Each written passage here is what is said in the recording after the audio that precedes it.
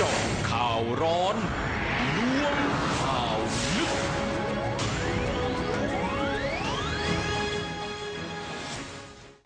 ค่ะเข้ามาในช่วงสุดท้ายของทางรายการแล้วเนี่ยนะคะ การเติบโตขึ้นของหมู่บ้านคนเสื้อแดงแม้ว่านะคะด้านหนึ่งจะเป็นการสะท้อนให้เห็นถึงยุทธศาสตร์การทำงานที่มีแบบแผน แล้วก็ขั้นตอนอย่างชัดเจนนะคะ แต่ว่าอีกด้านหนึ่งค่ะ ก็นำมาซึ่งปัญหาในเสถียรภาพของคนเสื้อแดงด้วยเหมือนกันค่ะ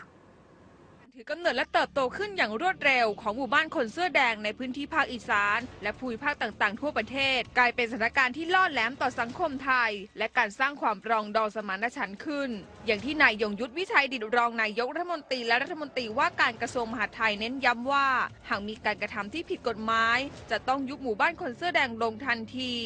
ส่วนความคิดเห็นภายในสีเสื้อแดงก็จะถูกแตกเป็นเสียงๆโดยเฉพาะนายขวัญชัยไพพนา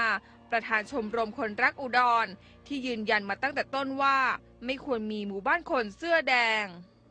ผมให้สัมภาษณ์มาตลอดแล้วผมก็ยังยืนยันเหมือนเดิม ครับตอนนี้เห็นนี่เอสเว็บกระดาษผมใช้ทางจอเอเซียอัปเดตแต่ผมก็ไม่ไม่ไม่ไม่ซีเรียสเพราะผมชี้ประเด็นให้ดูแล้วว่าหมู่บ้านแสดงคุณไปสร้างเป็นเป้าให้กับใครทำให้เล็กปัดให้เป็นเป้า และถ้าคนที่เขาคิดไม่หวังดีกับพวกเราแบบที่เผาเป็นนักเบิร์นเผาสารกลางเนี่ยครับมันมีคนวางแผนให้แล้ว ผมก็กลัวว่าจะเกิดหมู่บ้านแสดงเนี่ยถ้ามีแสดงเทียมที่ไม่ได้ไม่ได้มีหลักการจริงจังเนี่ยถ้ามีเงินมาจ้างสักหมื่นสองหมื่นให้เอาเอาเอาเนี่ยเอาของไปไว้ที่หมู่บ้านนี้หน่อยครับหรือเอาอาวุธสงครามไปไว้ในนี้หน่อยแล้วเกิดมาที่นี่ก็หน่อยครับหรือเอาตำรวจไปจับข่าวบ้านพ่อมาหมู่บ้านแสดงหมู่ บ้าแสดงค้ายาบ้าทานกันไปทั้งหมดเลยครับครับนั่นคือข้อกังวลของผมที่ผมนำเสนอไปใครจะเชื่อไม่เชื่อผมไม่รู้แต่ผมก็เป็นคนกังวลและผมให้สัญญาณได้ดีผมได้ถ่ายที่จะพักว่าเป็นเด็กตอนแล้วผมเนี่ยครับมันเป็นลูกน้องเก่าผมทั้งนั้นแล้วพี่อานนท์ใช่ไหมพี่ครับไออานนท์เนี่ยไม่ได้เป็นพี่อานนท์เป็นคนเลวที่สุดในตอนนะครับบอกได้เลยนักข่าวที่จะดีจะเนี่ยมัน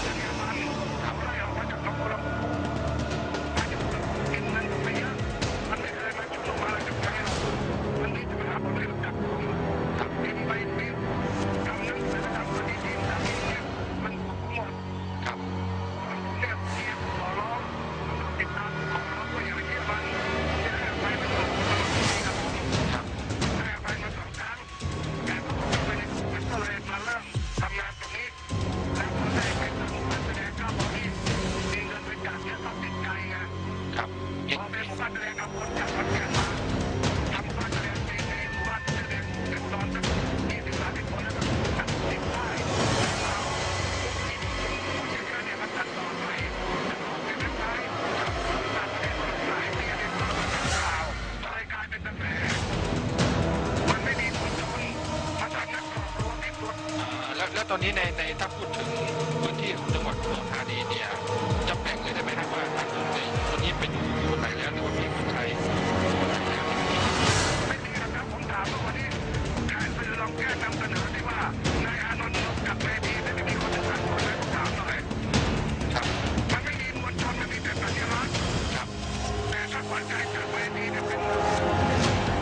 นางธิดาถาวรเศรษรักษาการประธานกลุ่มแนวร่วมประชาธิปไตยต่อต้านเผด็จการแห่งชาติ ยืนยันว่ากลุ่มนปชโดยเฉพาะตนเองกับนายขวัญชัย ไม่ได้มีปัญหาอะไรกัน แต่สิ่งที่นายขวัญชัยไม่พอใจ น่าจะเป็นเรื่องที่ตนเองปล่อยให้มีการจัดตั้งหมู่บ้านเสื้อแดงขึ้น โดยไม่ได้ห้ามปราม ทั้งนี้ส่วนตัวมองว่าการจัดตั้งหมู่บ้านเสื้อแดงนั้น เป็นสิทธิของกลุ่มบุคคลดังกล่าว ตนคงไม่มีสิทธิ์ไปห้าม ส่วนกรณีที่นายขวัญชัยไม่พอใจเรื่องหมู่บ้านเสื้อแดงนั้น ตนคิดว่าน่าจะเป็นเพราะนายขวัญชัยต้องการที่จะขยายอาณาจักรชมรมคนรักอุดร ไปให้ทั่วพื้นที่ภาคอีสาน ซึ่งนายขวัญชัยไม่เคยเข้าร่วมประชุมกับกลุ่มนปช จึงไม่ทราบในหลักการว่ากลุ่มนปช ต้องการสร้างความเข้มแข็งในหมู่บ้านประชาชน โดยจะทำให้เป็นรูปแบบของคณะกรรมการเดินหน้าวิถีทางประชาธิปไตย และทวงความยุติธรรมให้กับคนเสื้อแดง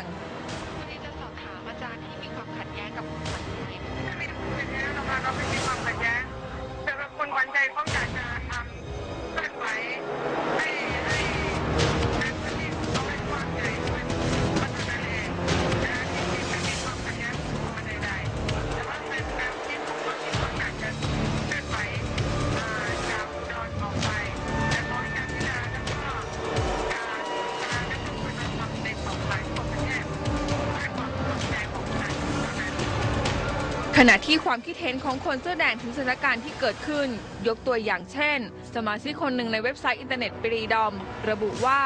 ข่าวพวกนี้จริงหรือเท็จก็ไม่รู้ ยิ่งเอามาโพสต์ต่อพวกเสี้ยมกระจายข่าวต่อแล้วข่าวเสื้อแดงมาด่ากันเองเป็นไปตามแผนของเขาจริง ๆ เขาลงข่าวเสี้ยมทำให้เราแตกกันก็เอามาประโคมโหมใส่กันเสียใหญ่โต เป็นกันแบบนี้ตั้งแต่หลังเลือกตั้งมา มีแต่ข่าวแกนนำพรรคเพื่อไทยกับเสื้อแดงแตกกัน ช่างน่าเศร้าใจก่อนนำข่าวจากสื่อพวกนี้มาลง เราควรจะพิจารณาก่อนดีไหม ว่าข่าวนั้นจริงหรือเต้าให้เราแตกกัน เหนื่อยหน่ายเสียเหลือเกิน ขอปิดตาปิดใจจากข่าวการเมืองดีกว่า แต่เมื่อไรที่เราต้องระดมพลโคน ผูกหัวขาวตาเดียวปากแดงพร้อมเต็มที่ และอีกหนึ่งความคิดเห็นในเว็บไซต์เดียวกันที่ระบุว่าหมู่บ้านคนเสื้อแดงมองไม่ยาก เป็นสิ่งที่ฝ่ายตรงข้ามโจมตีรุนแรง ไม่อยากให้มีไม่อยากให้เกิด บอกว่าจะเกิดผลเสียอย่างนั้นอย่างนี้ ง่ายนิดเดียว อันใดที่พวกมันไม่ชอบไม่เห็นด้วยทำเลยครับ สนับสนุน คุณขวัญชัยคุณก็กลัวเกินเหตุ เขาเขียนเสือให้วัวกลัว คุณก็ดันเป็นวัวกลัวตามเกมที่เขาเขียนให้กลัว กลัวในสิ่งที่ยังไม่เกิดขึ้น มองให้ออกนะครับ ออกความเห็นได้แต่ไม่ไปโจมตีพวกเดียวกัน เขาจะทำก็ทำไปเถิด ผมมองว่าเป็นเรื่องดี เพิ่มพลังฝ่ายประชาธิปไตย ต้องจับตาอย่างใกล้ชิดค่ะว่าสถานการณ์ความเห็นต่างเรื่องหมู่บ้านคนเสื้อแดงของบรรดาแกนนำและมวลชนจะลงเอยอย่างไรดังนั้นถ้าถามว่าไอ้คนที่ตั้งหมู่บ้านเสื้อแดงเนี่ยนะเขามีวัตถุประสงค์อะไร เขามีวัตถุประสงค์เพื่อส่งเสริมให้คนเนี่ยนะสนับสนุนให้มีการสร้างประชาธิปไตยและเรียกร้องให้ปล่อยนักโทษการเมืองที่เป็นพวกเสื้อแดงเนี่ยไอ้อย่างนี้เนี่ยเขาทำอย่างนี้เนี่ยมันต่างอะไรกันล่ะครับนะเขาทำอย่างนี้มันต่างกับพวกเสื้อแดงไหมมันต่างกับเสื้อแดงอย่างอื่นไหมเขาไม่เห็นต่างกันนะครับใช่ไหมฮะ ข้าวที่หนึ่งนั้นก็ถือว่าโดยหลักการและก็ทำได้เสรีภาพมีมีสิทธิ์และก็ทำได้ครับนะครับ และก็อย่าว่าจะตั้งหมู่บ้านเสื้อแดงเลยนะครับที่อุทัยครับ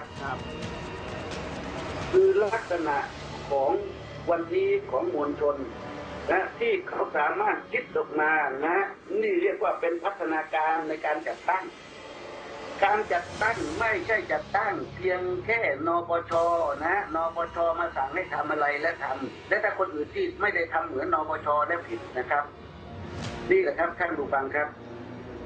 เรื่องความคิดอย่างนี้เนี่ยมันเป็นความคิดที่สืบทอดกันมา ว่าถ้าไม่ใช่ที่กูให้ทำแล้วพวกมึงผิดหมดเนี่ยเป็นความคิดประเด็จการที่เนี่ยที่บอกแล้วว่าเป็นคนที่รับความคิดมาจากพรรคคอมมิวนิสต์ และเป็นพรรคคอมมิวนิสต์ในแก๊งสี่คน ในพรรคคอมมิวนิสต์จีนเนี่ยมันมีสองสายนะสายนะคือก็เรียกสายที่ก้าวหน้ากับสายที่ล้าหลังหรือก็เรียกว่าพวกความคิดพวกซ้ายจัดเนี่ยนะไอ้พวกนี้เนี่ยนะมันจะคิดลักษณะนี้นะครับ ถ้าใครคิดตามคิดไม่ไม่ไม่เหมือนกันปั๊บเนี่ยนะมันจะรีบทำลายและวันนี้ลักษณะความคิดลักษณะการจัดตั้งอย่างนี้มันเอามาเผยแพร่นะในการจัดตั้งเสื้อแดงซึ่องอันนี้อันตรายนะครับในอนาคต นี่นะครับ ลักษณะความคิดอย่างนี้เนี่ยพอเห็นที่ใครทำไม่เหมือนตัวเอง หรือไม่ได้อยู่ในสังกัดคำสั่งของตัวเอง ไม่ได้ดูเลยว่าไอ้คนที่เขาทำนั้นเนี่ยเขาทำเพื่อให้นะกระบวนประชาธิปไตยที่มันเข้มแข็ง เขาทำเพื่อให้นะทุกคนที่อยู่ฝ่ายประชาธิปไตยเนี่ยนะครับ มีอำนาจนะเขาไปสร้างอำนาจคู่กันขึ้นมา และเขามีความรู้มีสมองที่จะครีเอท ที่จะสร้างสรรค์การจัดตั้งมากกว่าสิ่งที่นปชได้ทำนี่นะครับท่านผู้ฟังครับผมพูดเนี่ยผมพูดจากข้อเท็จจริงทั้งหมด และพูดให้ท่านได้เข้าใจนะ ผมไม่ได้มาบอกว่าใครถูกใครผิด แต่ลักษณะอย่างนี้ซึ่งผมก็ไม่รู้จักแกนนำของคนที่ไปตั้งหมู่บ้านเสื้อแดงเลยครับ ไม่รู้จักจริง ๆครับ แต่ผมมองนะมองจากคนที่มองเห็นปรากฏการณ์ และอธิบายปรากฏการณ์ให้ท่านได้เข้าใจ โดยที่ไม่จำเป็นต้องไปรู้จักมักกีกับบุคคลเลยครับนะลักษณะการสร้างหมู่บ้านเสื้อแดงขึ้นมา นี่คือเป็นความคิดก้าวหน้าในทางการจัดตั้ง เพราะลักษณะการจัดตั้งในกระบวนประชาธิปไตยนั้น ไม่ใช่มีแค่องค์กรเดียวครับ มันอาจจะมีอีกหลายองค์กรครับ แต่ทุกองค์กรนั้นจะมียุทธศาสตร์เดียวกัน ยุทธศาสตร์ใหญ่เดียวกัน คือการสร้างประชาธิปไตยนั่นเองครับ นี่นะคือจะต้องพาไปสู่เป้าหมายการสร้างประชาธิปไตยนั่นเอง มันจะมีออกมากี่กลุ่มนะครับ กี่องค์กรไม่สำคัญครับ และแต่ละองค์กรนั้นนะเมื่อเขามีวัตถุประสงค์และเป้าหมาย ที่จะนะทำเพื่อประชาชนและไปสร้างประชาธิปไตยแล้วก็ถือว่าเขาทำได้ และถือว่าเป็นองค์กรที่ถูกต้องที่ต้องสนับสนุนนะให้กำลังใจกันครับ ไม่ใช่มาขวางเขานะ นี่แหละครับ หรือไม่ใช่บอกว่าให้เขาเนี่ยนะยกเลิกนะครับ นอกจากว่าเป็นหมู่บ้านเพื่อแสดงแล้วนะผมเชื่อว่าภายใต้นะภายใต้การเติบโตการขยายตัวของนะฝ่ายประชาธิปไตยหรือของขบวนประชาธิปไตยวันนี้นั้นนปชอย่าไปคิดว่านปชนะฮะขยายการจัดตั้งแล้วคนอื่นขยายการจัดตั้งไม่ได้นะครับ วันนี้เนี่ยเขาอาจจะออกมาในรูปแบบไม่ใช่หมู่บ้านอย่างเดียวนะครับหมู่ใต้ครับครับ และผมอยากให้อย่าทำแต่หมู่บ้านเสื้อแดงอย่างเดียวนะครับ แรงงานนะเอาตามสาขาอาชีพด้วย แรงงานแดง แม่ค้าแดงนะหลวงพ่อย่ามแดง วิศวกรแดง นักกฎหมายแดง พยาบาลแดง หมอแดง ผู้พิพากษาแดงอายการแดง สารวัตรแดงนะผู้พันแดง มหาไทยแดงเกษตรแดงชนประทานแดง โยธาแดงนะที่ดินแดงนะนะประปาแดงไฟฟ้าแดงโทรศัพท์แดงกำนันแดงผู้ใหญ่บ้านแดง NGO แดงเท่าแก่แดง อาซอแดง อากูแดง อาแปะแดง สามล้อแดง แท็กซี่แดง ชาวนาแดง ครูแดง อบตแดง อบจแดงนะผู้ว่าแดงนายอำเภอแดงปลัดอำเภอแดง นี่นะคือทุก กลุ่มเนี้ยสามารถที่จะแตกตัวออกไปเป็นแดงได้หมดเลยครับค่ะท่านผู้ชมคะข้อคิดเห็นนะคะที่แตกต่างในเรื่องหมู่บ้านคนเสื้อแดงนะคะของแกนนำนะคะะกลุ่ม คนเสื้อแดงนั้นน่ะนะคะก็ต้องรอดูแล้วค่ะกับความเคลื่อนไหวเนี่ยนะคะของแกนนำกลุ่มต่างๆนะคะว่าจะลุกลามบานปลายกันออกไปหรือไม่อย่างไร และยิ่งเนี่ยนะคะสร้างความเข้มแข็งให้กับคนเสื้อแดงแล้วก็ดูจะเป็นประเด็นนะคะที่หลายฝ่ายนะคะคงจะต้องรอจับตาดูแล้วค่ะว่าประเด็นปัญหาต่างๆ เหล่านี้เนี่ยนะคะมันจะลุกลามบานปลายหรือว่าสร้างความเข้มแข็งให้กับ ลุ่มคนเสื้อแดงกันแน่นะคะ รอจับตาดูกันค่ะ และก่อนที่จะลาจากกันไปนะคะท่านผู้ชมคะ ก็เหมือนเคยค่ะถ้าว่าท่านผู้ชมนั้นต้องการร่วมเป็นส่วนหนึ่งนะคะ กับทางกลุ่มเครือข่ายเฝ้าระวังพิทักษ์และปกป้องสถาบันนั้นนะคะ ก็สามารถที่จะพิมพ์ชื่อที่อยู่ส่งมาได้ค่ะที่ 4678000 นะคะ หรือว่าส่งจดหมายค่ะมาที่สำนักข่าวทีนิวส์ 50ทับ33 หมู่ 5 ตำบลตลาดขวัญอำเภอเมืองจังหวัดนนทบุรีนะคะรหัสไปรษณีย์11000 ค่ะ หรือนะคะถ้าหากว่าท่านผู้ชมนั้นต้องการร่วมที่จะลงชื่อในการคัดค้านการแก้ไขกฎหมายมาตรา 112 แล้วก็นะคะ ซึ่งเนื้อหารายละเอียดนั้นมาตรา 112 ก็คือ ผู้ใดนะคะหมิ่นประมาทดูหมิ่น หรือแสดงความอาฆาตมาตร้าย พระมหากษัตริย์ พระราชินี องค์รัชทายาทหรือผู้สำเร็จราชการแทนพระองค์นะคะ ก็ต้องระวังโทษจำคุกตั้งแต่ 3 ปีถึง 15 ปีค่ะท่านผู้ชมก็สามารถที่จะเซ็นชื่อที่อยู่ และก็เปิดติดต่อกลับได้นะคะ ลงในสำเนาบัตรประจำตัวประชาชน แล้วก็ส่งแฟกซ์มาค่ะ ที่เบอร์ 02-525-4259 นะคะ หรือว่าส่งจดหมายมาก็ได้ค่ะ ที่ 50ทับ33 หมู่ 5 ตำบลตลาดขวัญ อำเภอเมืองจังหวัดนนทบุรีลาดไปรษณีย์